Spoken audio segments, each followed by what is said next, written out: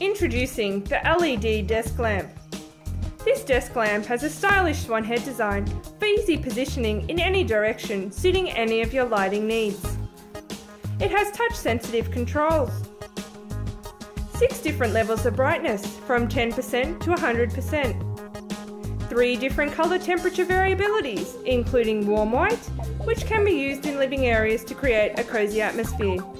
Cool white, which is ideal for promoting concentration without getting tired or straining your eyes, so it can be used in the office or when reading a good book. A neutral white light, which is good for any of your general needs as it creates the necessary basic light. So this Swan desk lamp can be used in every room in your home or office.